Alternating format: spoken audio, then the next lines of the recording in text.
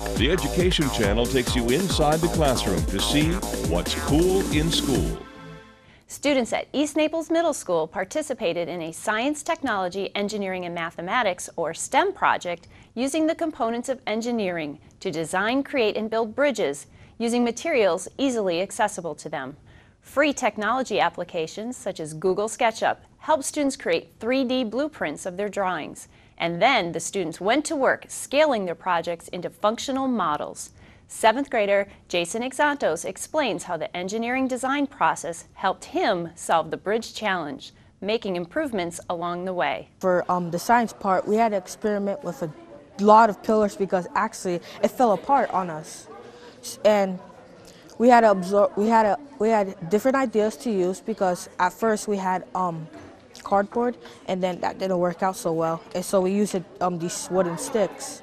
And then for the E part and STEAM, um, we had to add a lot of support because these, they kept falling on us, so we had to use string to attach them, and we had to use this to hold it down so it could turn.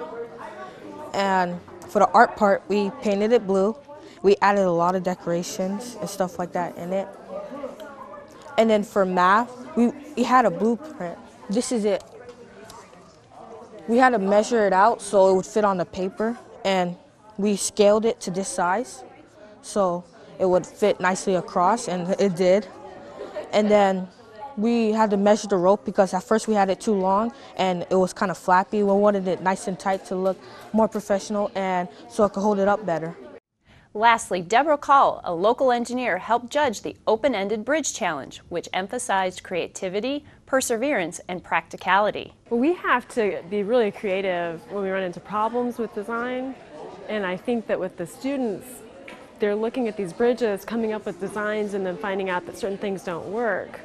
And then they have to find a way around it. And teaching that creativity and that way to work around problems and to do problem solving in the real world is eventually going to make them better workers in the workforce.